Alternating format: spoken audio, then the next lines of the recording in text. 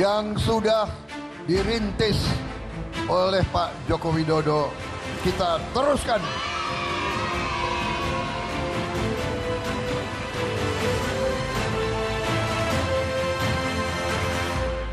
Prabowo Gibran